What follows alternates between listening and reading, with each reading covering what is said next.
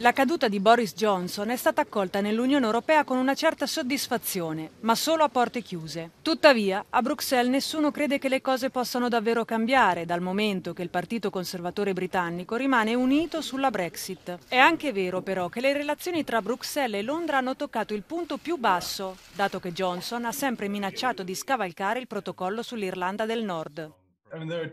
Ci sono due aspetti. Da un lato la sua personalità che è incoerente, mente, non mantiene gli accordi. È molto difficile per tutti trattare con lui, compresi i suoi ministri, e questo non è un problema solo di Bruxelles. Dall'altra parte ha avuto un approccio molto combattivo sulla Brexit, perché ha capito che per tenere insieme la coalizione del Partito Conservatore e gli elettori è necessaria una linea dura su questo tema. E il modo in cui lui l'ha interpretato è stato quello di essere il più aggressivo possibile verso l'Unione Europea.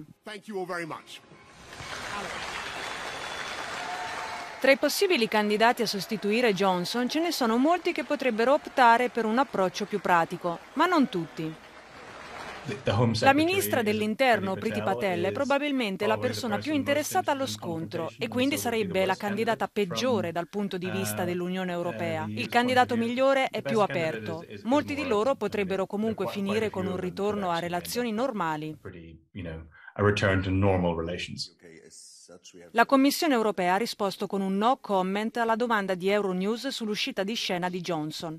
Dal canto suo, la Repubblica Ceca, il paese che al momento guida il Consiglio dell'Unione Europea, nutre qualche speranza. Per quanto riguarda le relazioni tra Regno Unito e Unione Europea, spero che non abbia una seria influenza sulla situazione attuale e spero che il Regno Unito si attenga al diritto internazionale. I rapporti di Johnson con Bruxelles sono sempre stati burrascosi, anche quando era corrispondente del Daily Telegraph. È stato uno dei grandi promotori della campagna pro-Brexit e da quando è arrivato Downing Street la sua permanente messa in discussione degli accordi non ha fatto altro che peggiorare le cose. Pochi sentiranno la sua mancanza a Bruxelles.